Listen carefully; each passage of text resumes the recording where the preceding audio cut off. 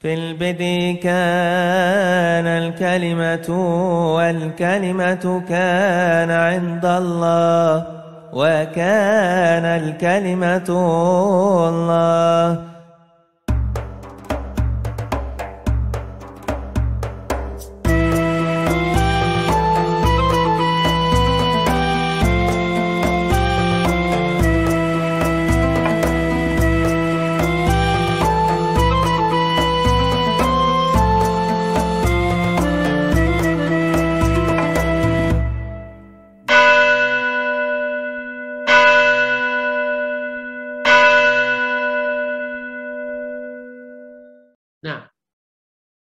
Kemarin saya sampaikan, sebetulnya konsep kosher dan low kosher itu tidak sama dengan konsep Islam tentang halal dan haram.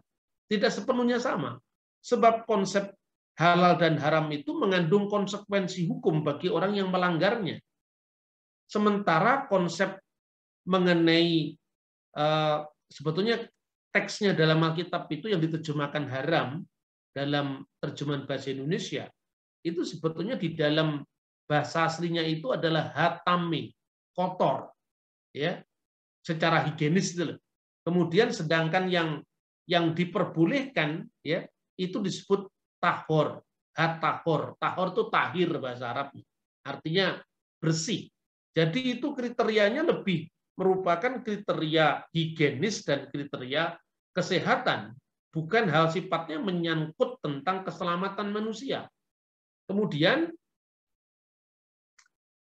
setelah kita melihat hukum Nuh, kita akan melihat bagaimana rumusan hukum Musa yang disebut sebagai taryak misfot. Kenapa disebut taryak? Itu karena secara gematria, gematria itu huruf tet itu nilainya 400, huruf res nilainya 200 berarti 600, yod itu 10 dan gimel itu 3 jadi 613 misfot ya atau misfa eh, bentuk silu apa tunggalnya. Artinya hukum atau peraturan. Ini kemarin sudah kita baca dari traktat Makot 23A dan B dalam kitab Talmud kenapa? Ada 613 karena mereka juga mengakui secara gamatria dalam Taurat nilai numeriknya itu adalah 611 jumlah miswat yang diterima dan diajarkan oleh Musa guru kita. Selain itu ada dua miswat yang ditambahkan.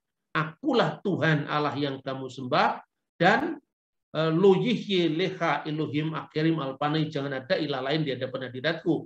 Akhirnya gamatria Taurat itu 611 plus dua hukum yang ditambahkan sebagai hukum pertama dan kedua jadilah 613 miswat. Itu sebetulnya munculnya kemudian. Jadi itu tidak terjadi pada zaman Yesus ya, tapi itu munculnya kemudian. Tapi ini saya kutip, bukan kita mau mencari pembenaran dari orang Yahudi, dari rabi-rabi, tidak. Artinya saya ingin membuktikan bahwa kedudukan orang-orang bukan Yahudi yang tidak dipaksakan oleh orang Yahudi menerima hukum Taurat itu secara historis berjalan dari abad ke abad. Nah, kemudian Sejak kapan itu makot 23B yang tadi kita baca tadi dirumuskan? Sejak abad ketiga. Jadi setelah masa Kristiani, hampir semua Yahudi rabbinik itu munculnya pada abad-abad setelah kekristenan. Kalau muncul sebelum kekristenan, itu adalah tradisi lisan yang kemudian baru dikitabkan. Jadi eh, lewat seorang rabi, khotbah seorang rabi namanya Rabi Simlai, lalu dijabarkan apa yang disebut taryak misfot 613 peraturan yang dibagi dalam dua bagian. Yang pertama, misfot aseh, aturan yang berisi perintah. 365 perintah sesuai dengan jumlah hari dalam setahun, maksudnya tahun Samsia. Itu perintah, haruslah ini, haruslah itu. Lalu yang kedua, misfot lo ta'aseh, aturan yang berisi larangan. Jangan ini, jangan itu. Lo yihye, jangan ini kan. Eh, lo yihye leha, jangan ada padamu. Atau jangan berzina, jangan membunuh yang terdiri dari 248 larangan sesuai dengan jumlah tulang dalam organ utama tubuh manusia menurut anggapan orang Yahudi saat itu menurut ilmu pengetahuan pada abad ketiga eh, Masehi. Kemudian ini makanan-makanan yang eh, tadi berkaitan dengan kosher dan non kosher tadi menduduki angka 176 sampai 185 tentang makanan-makanan, aturan tentang makanan-makanan. Dan kalau kita lihat bahwa kosher itu lebih dari halal. Karena aturannya lebih strict, lebih detail. Kemudian jenis hukum atau klasifikasi atau kategori misfot hukum Yahudi. Dan ini kita perlu bagaimana membaca kitab imamat. Maka saya tidak membahas pasal demi pasal lengkap, tapi metodologi pembacaannya saya sampaikan. Yaitu mispatim, edot, dan hukim. Ini tiga klasifikasi hukum. Apakah yang disebut mispatim? Perintah yang sudah jelas. Misalnya jangan membunuh, jangan berzina, jangan ada ilah lain di hadapan hadiratku, jangan menista nama Tuhan itu jelas Hukumnya tidak bisa ditafsir lagi. Pokoknya jelas, alasannya jelas, perintahnya jelas. Itu yang disebut misfatim. Yang kedua itu edot. Perintah yang dikaitkan dengan testimoni, testimonium. Jadi ada alasan kenapa kita menguduskan hari sabat. Karena enam hari lamanya Allah menciptakan langit, bumi, laut, dan segala isinya. Dan ia berhenti pada hari ketujuh Makanya hari Sabat itu dilakukan. Perayaan-perayaan, misalnya perayaan Paskah, kenapa? Karena itu keluaran dari tanah Mesir. Kenapa perayaan Pondok Daun? Karena itu adalah pengembaraan di padang gurun selama 40 tahun. Kenapa Pentakosta? Karena itu adalah turunnya 10 perintah Tuhan di Gunung Sinai. Itu semua ada alasan-alasannya. Itulah yang disebut edot. Ya, dari artinya saksi, kesaksian. Lalu yang ketiga, ini termasuk hukum halal dan haram, hukum koser dan tidak koser tadi. Hukim, perintah yang diberikan tanpa alasan rasional. Lebih merupakan manifestasi dari kedaulatan dan kehendak Tuhan yang menuntut ketaatan tanpa syarat dari orang Yahudi. Prinsipnya kami lakukan ini karena Tuhan berfirman begini. Kami lakukan ini karena Tuhan berfirman seperti ini.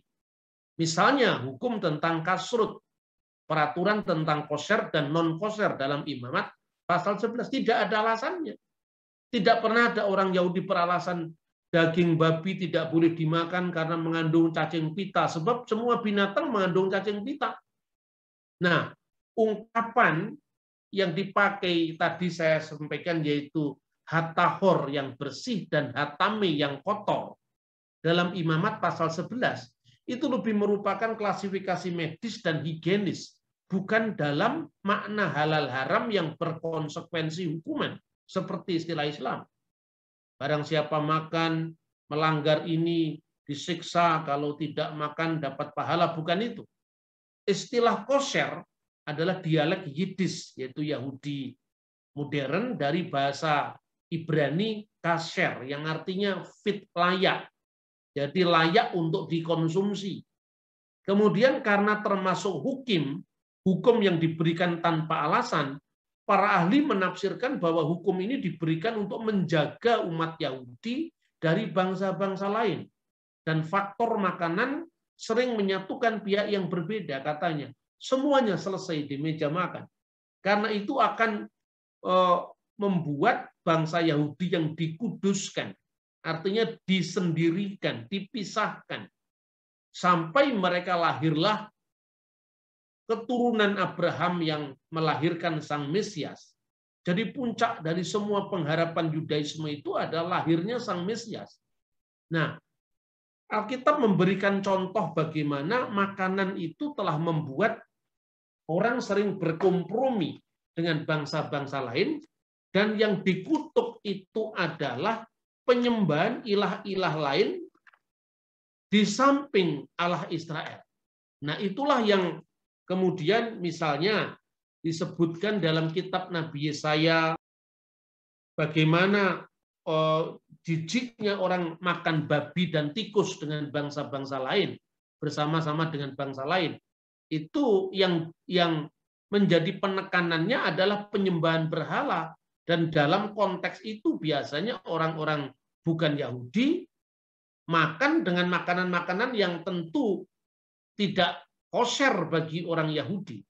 Nah, kemudian juga digambarkan kalau ada ungkapan misalnya dalam kitab Kejadian pasal 7 ayat 8 itu kan pramusa sebelum Tuhan Musa yaitu Habi Hemah Hatehora binatang yang tahir dan juga Habi Hemah Asher Einenah Tehora binatang yang tidak tahir pada zaman Nuh ini, kejadian pasal 7 ayat 8, itu tidak berarti di zaman Nuh sudah ada larangan tentang koser, tidak.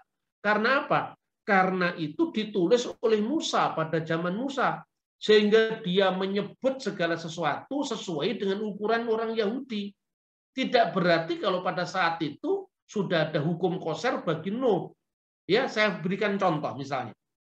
Ketika saya menulis mengenai kerajaan Majapahit. Tentu pada zaman Majapahit yang masih Hindu tidak mengenal hukum halal dan haram menurut pandangan Islam.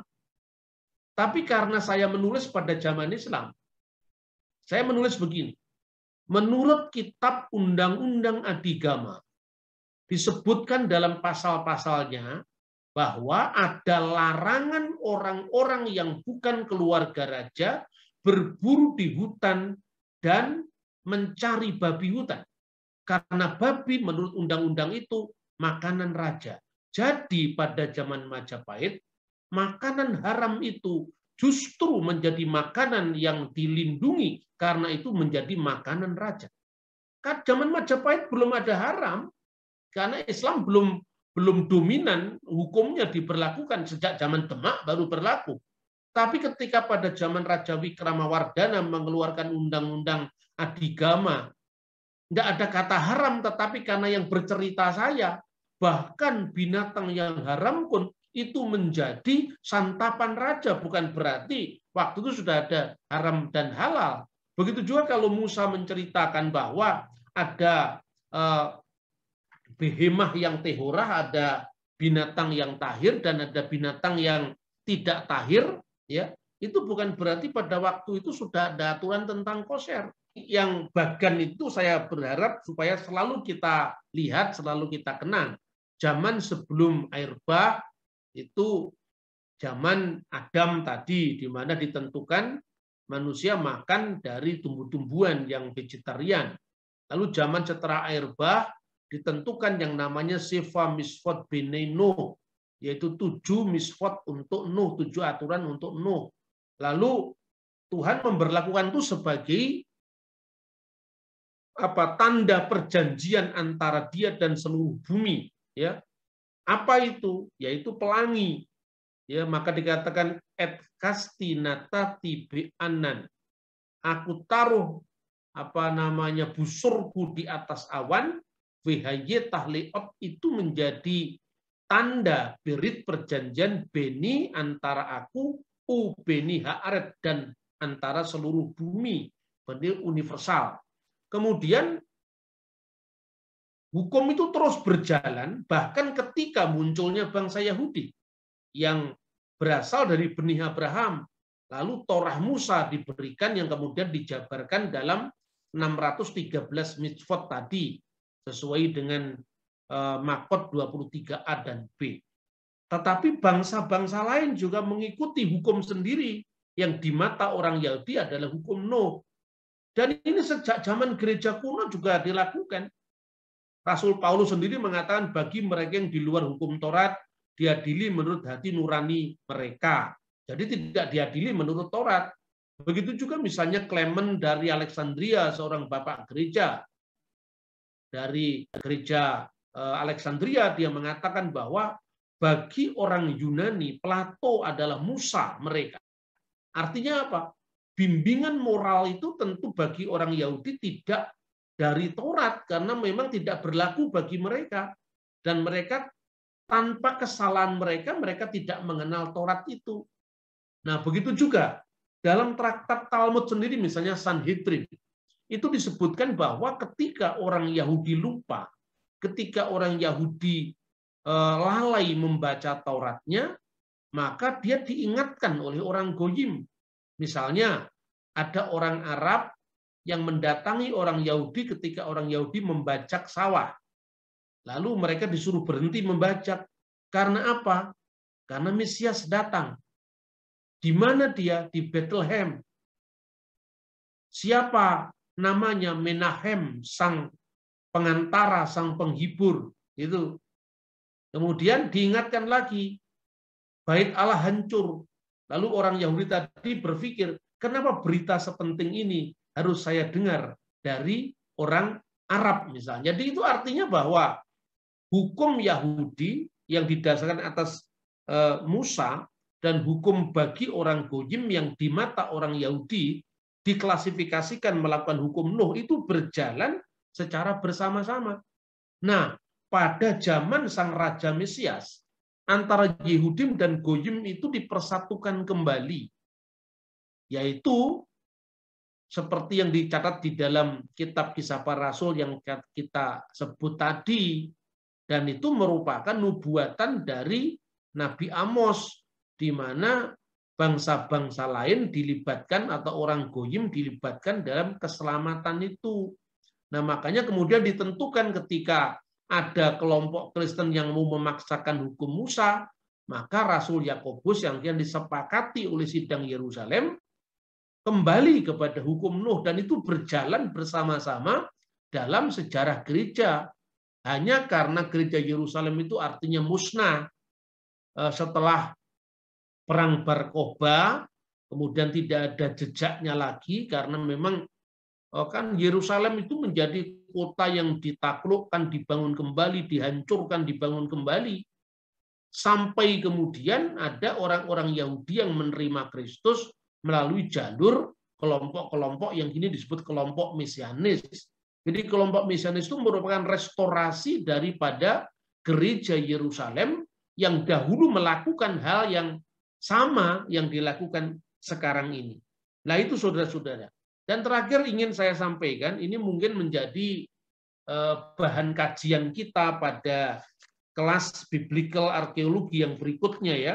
Karena ini sangat penting saya sudah eh, apa namanya membuat beberapa rancangan misalnya apakah Paulus membatalkan Taurat ini berita yang sering menjadi perdebatan lalu bagaimana hubungan antara kelompok Ebionit dan Warokoh bin Naufal dari Pela sampai Mekah? Itu akan kita bahas.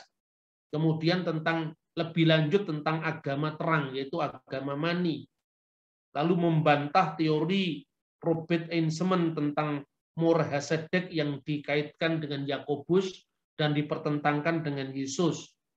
Lalu kita juga ada sesi tentang Nasrani Mandayan, teori Yesus versus Yohanes Pembaptis. Ini banyak sekali tidak dibahas dalam kajian-kajian kita. Karena apa? Karena langkanya sumber-sumber yang semestinya menjadi rujukan kita. Nah yang terakhir, apakah benar Paulus itu membatalkan hukum Taurat ya. Yang sering terjadi kan begini, misalnya ya, orang mengatakan kalau Taurat itu hanya berlaku bagi Israel, apakah berarti sema Israel juga berlaku bagi Israel? Itu kan sering kali ditanyakan begitu. Karena ada kata sema Israel Adonai Elohenu Adonai Kat. Ini berarti juga hanya berlaku untuk Israel. Perumusan itu memang berlaku bagi orang Israel. Tetapi substansinya tidak. Substansinya juga berlaku bagi bangsa-bangsa bukan Israel karena apa? Sejak zaman Enos orang sudah eh, apa namanya memanggil nama Tuhan. Makanya sekalipun pada zaman Pramusa sudah dirumuskan yang namanya eh, Abu Dazarah di dalam rumusan para rabi tentang hukum Nuh tadi. Tapi tentang misalnya apa eh, aturan-aturan yang sifatnya peringatan tadi, misalnya tentang sabat, ya, itu kan karena ada alasannya karena tujuh hari ketujuh Tuhan berhenti dari menciptakan langit bumi laut dan segala isinya. Terus kemudian Paskah pondok daun dan sebagainya. Tapi yang masuk dalam hukum itu memang eksklusif berlaku bagi orang Yahudi. Sementara ungkapan Sema Israel itu adalah hukum yang bukan termasuk hukum ya jadi contohnya gini ya untuk memudahkan sebetulnya seperti ini untuk memudahkan saja. Bagi orang Indonesia, kita punya kekasan-kekasan hukum yang tidak berlaku bagi orang lain. Misalnya, kita memiliki semacam apa? Semacam kesepakatan dan bahkan itu aturan menghormat sang saka merah putih. Itu sifatnya orang sudah harus harus melakukan itu. Karena itu adalah bendera negara kita. Tetapi di dalam aturan-aturan hukum kita ada tentang pengaturan dilarang berzina, dilarang apa perbuatan cabul, ya, dilarang membunuh. Itu kan sifatnya universal, itu mispatim. Maka di Malaysia juga dilarang, di negara komunis pun juga dilarang, itu mispatim. Tetapi tentang orang Indonesia memiliki tradisi memasang bambu runcing saat 17 Agustus. Itu sifatnya hukim kira-kira tidak, tidak sepenuhnya sama, tapi mirip karena itu khas Indonesia. Kibarkanlah sang saka merah putih dan simbol bambu runcing ini tancapkanlah di depan rumahmu sebagai peringatan misalnya. Mispatim tadi mengikat bagi orang lain, tetapi tentang misalnya orang Bali memiliki apa rasa hormat dan apa namanya menyucikan kain hitam putih kotak-kotak. Kain itulah yang kemudian dibuat untuk membungkus pohon yang dianggap keramat atau membungkus apa sanggah di depan rumah. Bagi orang bukan Bali, kain hitam putih itu apa artinya? Ya kan? Itu sama saja. Tapi ketika Anda datang ke Bali dan Anda melecehkan kain hitam putih, Anda akan kena hukum adat Bali. Karena apa? Karena itu simbol yang mereka junjung tinggi. Sebagai orang Jawa yang memiliki latar belakang mencintai wayang, budaya wayang, saya paham itu. Karena ketika saya melihat kain hitam putih, itu gambaran seperti yin yang dalam budaya Tionghoa. Itu saya paham itu. Ya, yin yang dalam budaya Tionghoa itu kalau di dalam budaya Bali dan Jawa itu disebut pada kainnya Bima Sena itu. Perpudoro itu kan selalu hitam putih hitam putih itu gambaran bahwa di tengah-tengah kegelapan pun pasti ada setitik terang. Di tengah-tengah terang pasti ada kegelapan karena manusia itu uh, tidak ada yang sempurna. Ya, saya ngerti filosofinya ini. Bagi saya ketika saya datang ke Bali, saya mesti menghormati budaya Bali. Dan ini yang menjadi khas bagi orang Bali tentu bagi orang Barat tidak paham kenapa cuman kain hitam putih. Bukan nilai apa intrinsik dari kainnya ini harganya berapa, warnanya pakai pewarna yang bagus atau tidak, tapi itu simbol. Begitu juga berkaitan dengan makanan halal dan haram. Itu nggak dijelaskan oleh Tuhan, nggak dijelaskan oleh rabi-rabi Yahudi sekalipun nanti akhirnya dicari penjelasan. Tetapi aslinya itu hukim, itu artinya tanpa penjelasan rasional. Kamu harus melakukan ini karena Tuhan berfirman begini. Titik. Itu ketaatan. Jadi tidak usah dicari-cari kenapa harus tidak boleh makan babi. Karena memang itu dilarang. Sama ketika Adam dan Hawa dilarang mendekati buah pengetahuan yang di tengah taman yang baik dan yang jahat.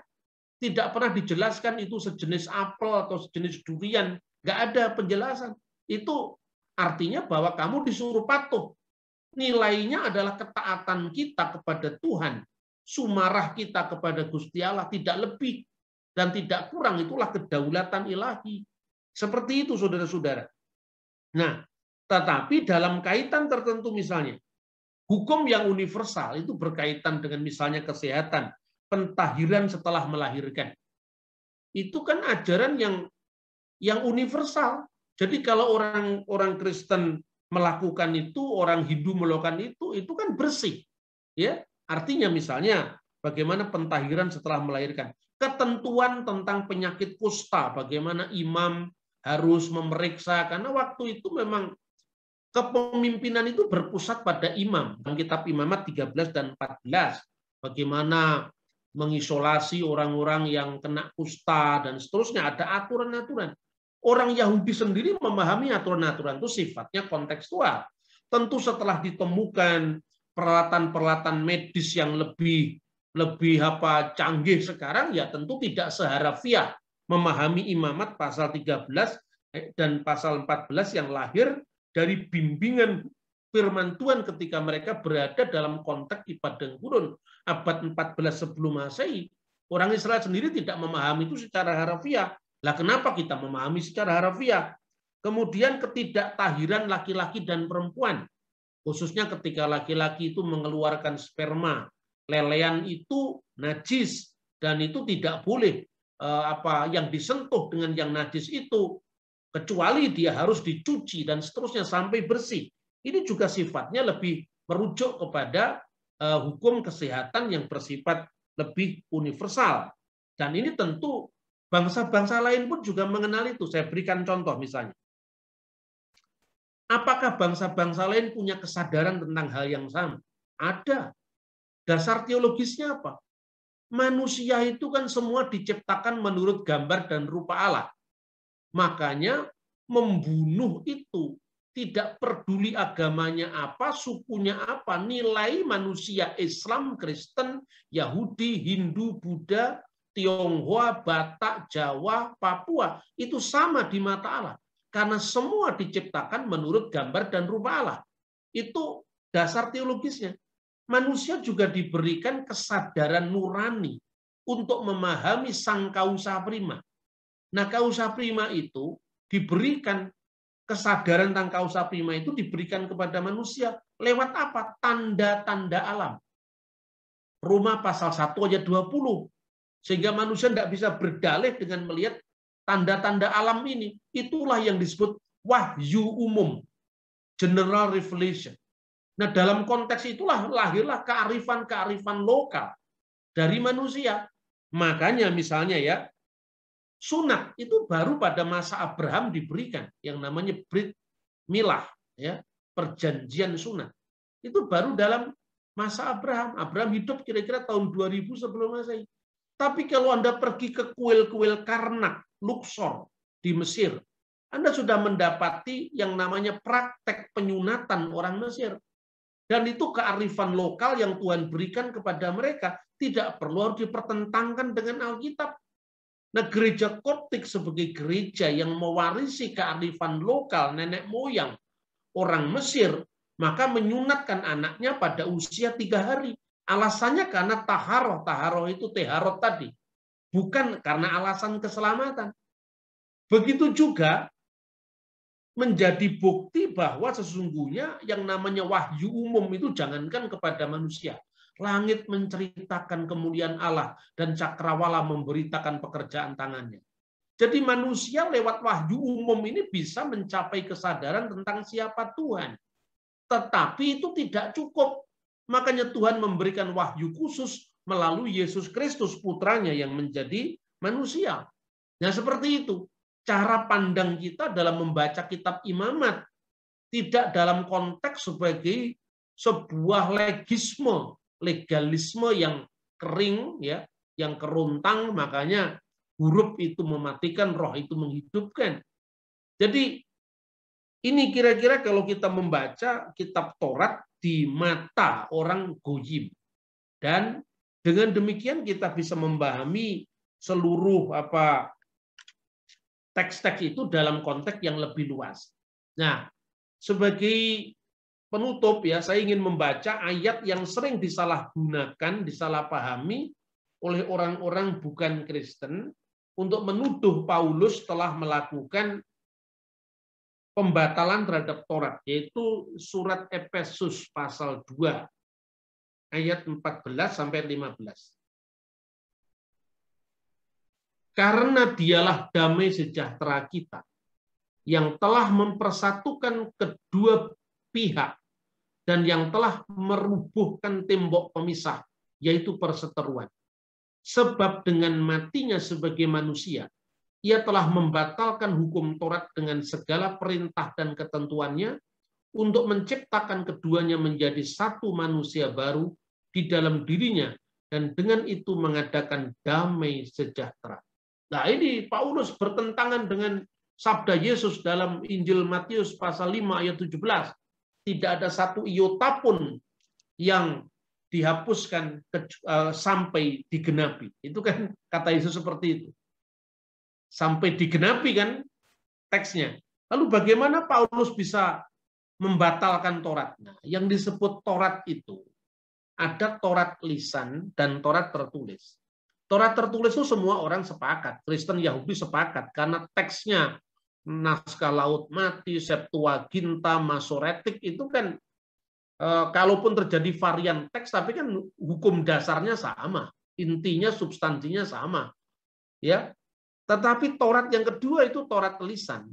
Tidak hanya Torah Sebiktov, Torah tertulis mulai dari kitab Beresit sampai Eleha Devarim, tetapi juga Torah Sebealpe.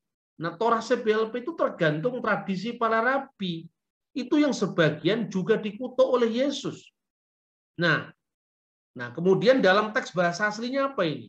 Dalam bahasa Yunani disebut ton nomon, yaitu tentang nomon itu Taurat, ton intolon yaitu commandment yaitu eh, perintah-perintah endogmasin dan dogma-dogma katar gesas telah dibatalkan. Jadi yang dibatalkan itu nomon yang mana? Nomon yang terdiri dari entolon endogmasin, yaitu perintah-perintah dan ajaran-ajaran. Yang dimaksudkan di sini adalah ajaran-ajaran para rabi. Karena dalam surat-surat Paulus yang lain jelas apakah dengan demikian Taurat dibatalkan sekali-kali tidak. Nanti kita bahas dalam sesi khusus. Tetapi yang penting di sini dalam konteks memahami eh, apa kehidupan orang Yahudi dan sejarahnya.